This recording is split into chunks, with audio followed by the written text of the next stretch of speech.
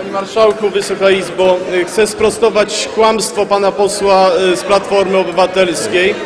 Otóż w żadnym kraju europejskim nie ma zapisów podobnych do y, artykułu 196.